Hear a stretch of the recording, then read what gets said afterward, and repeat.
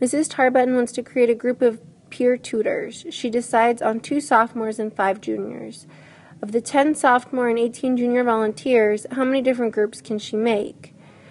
Well, it doesn't really matter order, so I'm going to try to do the fundamental counting principle for my sophomores and juniors. But I'm going to need to use a combination to figure out how many sophomores from which I, how many different sophomore groups I can have compared to how many junior groups I can have. So sophomore groups are going to be 10 choose 2 times the junior groups, which is 18 choose 5. The 10 to choose 2 is 45.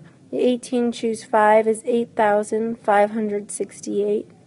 When we multiply those together, we get that there are 385,560 different combinations of peer tutors that I can make.